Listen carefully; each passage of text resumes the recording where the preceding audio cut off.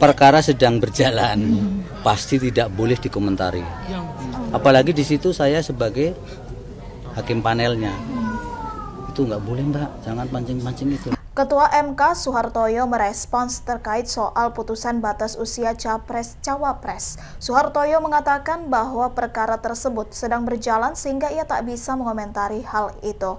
Terlebih Soehartoyo merupakan hakim panel dalam putusan tersebut.